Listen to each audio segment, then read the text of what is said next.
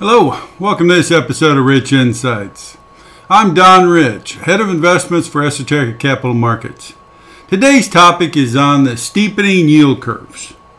Now, yield curves in the U.S. and in Europe are steepening, but I'm going to focus on the U.S. because they're uh, steepening uh, much more than, than what we're seeing in Europe. All right, so what does it mean when a yield curve steepens? Well, you know, it could be good news. Right, we'll walk through that. Could be bad news. Some people even believe it could be really bad news, right? So, what's going on here? Let's go to the charts here so we can see what's going on. You know, on this chart uh, here we have the yield curve at three different times, right? This is the blue line is the yield curve today. The orange line or brown line here is the yield curve at the end of last month, right? At the end of May. So we got June 7th versus end of May, and then of course the start of the year in the green line. The yield curve at the start of the year. Now obviously rates have come down substantially for all maturity since the start of the year. Right. That doesn't surprise anyone. So really what we want to focus on here is the difference between the brown line and the blue line. You can see the short end of the curve, they're about identical. All right. So short rates are the same today as they were in the last month.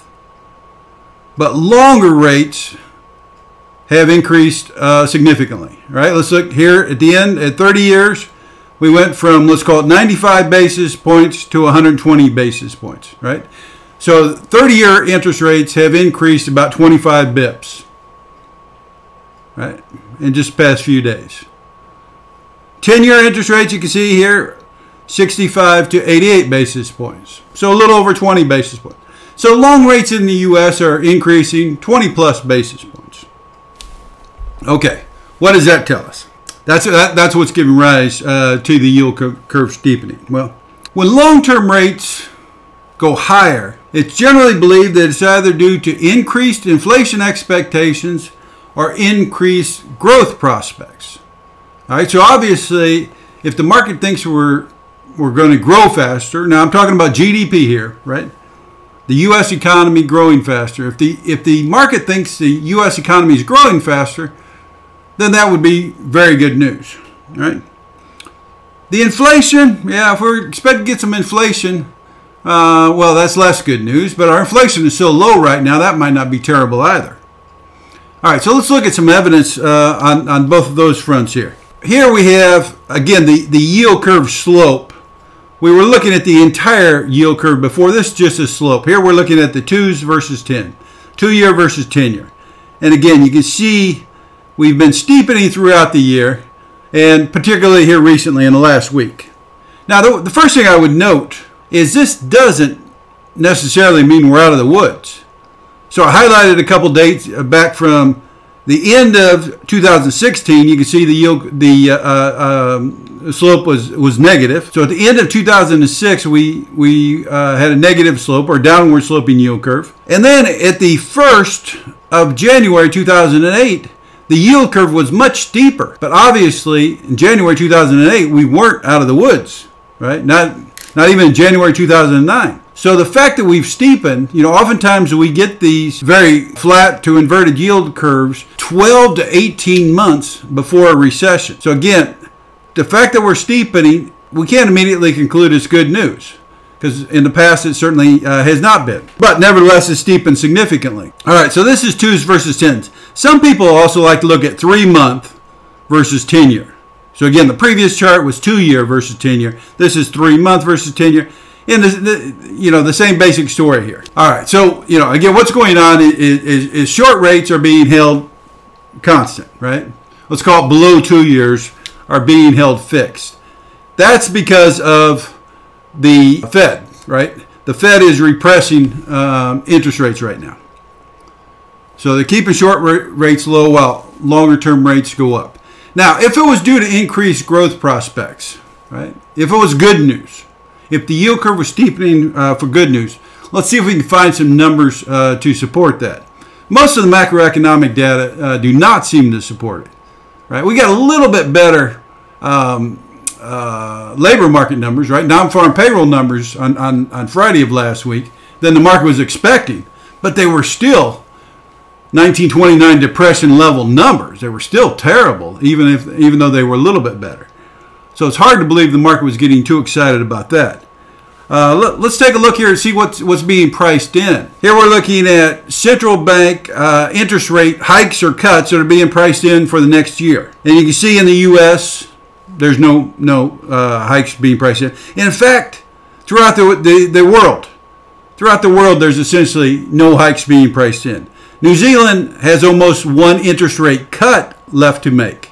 All right. Some of the central banks are a little slower to provide the stimulus than other ones. So New Zealand still has one cut to make, but nobody's pricing in interest rate hikes. So if the growth prospects were picking up, wouldn't you think somebody somewhere uh, um, would be pricing in this this growth? In other words, it would allow these central banks to take take uh, back uh, some of these uh, um, emergency liquidity provisions. So we're just not seeing any evidence of, of that uh, at all. Uh, now, what about inflation? What about inflation? Well, let's go.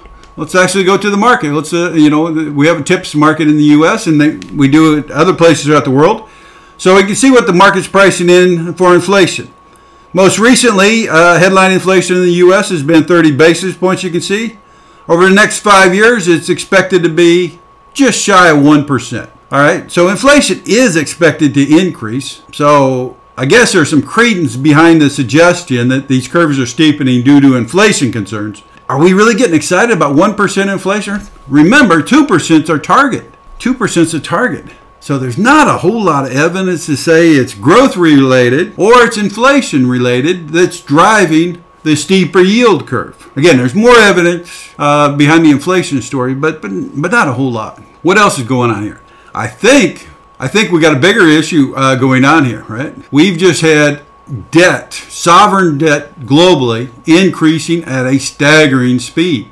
Right, all these massive stimulus programs, not only in the U.S., outside of the U.S., and these are fiscal stimulus programs and they're monetary stimulus programs, and all this debt, all this leverage is starting to catch up with us. And the timing of these steeper yield curves uh, was kind of interesting.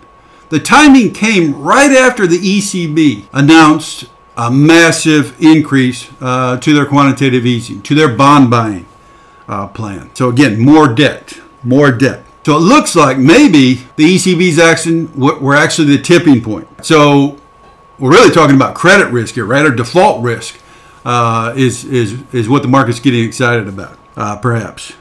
So whether it's inflation or whether it's sovereign credit risk, it really doesn't matter. The end result is what, what, what the market's worried about right now is that we could be talking about that dreaded word we haven't heard since the 1970s, right? Stagflation. Stagflation. Where we have some inflation with poor growth, right? Some inflation or high inflation with poor growth. Now, again, the catalyst in the 1970s for this stagflation was the oil crisis, right? We had the oil embargo. We we, we, we had uh, uh, some some price fixing going on and so forth. So it was an oil crisis. It was an energy crisis in, in the 70s. This time, if we get stagflation, it looks like the catalyst is going to be just a staggering amount of sovereign debt. Now remember, it's not only the sovereigns. In the last few years, U.S., China, right, a number of countries have, have been taking on a huge amount of debt. So the sovereign debt was building, and then of course it exploded due to these stimulus packages in response to the coronavirus. But, but, we also were carrying a record amount of corporate debt. It's actually the corporate debt that worries me the most right now. But again, the bottom line is none of this uh, uh, uh, really matters, right? The end result would be some some type of stagflation, some type of stagflation. Whether whether the inflation comes because of of uh, more sovereign risk, right, more default risk, or whether it actually comes from inflation, we still are pairing it with slow growth, and that's not a, a, a good outcome. So we're very early into these uh, steeper yield curves, so we'll have to give it some time. We'll monitor it closely, give it some time. You know, I, I, I guess, you know, what do we make of it today? Well, it doesn't seem to be good news. Is it bad news or is, is it really bad news? We don't know yet, right? But but we'll keep track of that and, and we'll report on that uh, going forward. So Uh, again, that's our uh, message for today. I'm Don Rich, and you've just experienced a rich insight. I hope you've enjoyed it. May your beer be colder than the company you keep. We'll talk again soon. Thank you.